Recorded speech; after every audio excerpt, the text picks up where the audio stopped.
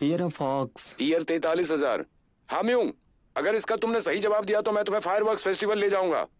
Firework festival पापा हा? कौन सा साल कहा था कौन आपने? साल पूछा था? ईयर तैतालीस हज़ार। आप हमें ले जाएँगे ना। फ्रेंड तुमने सुना? सुना तुम सबने?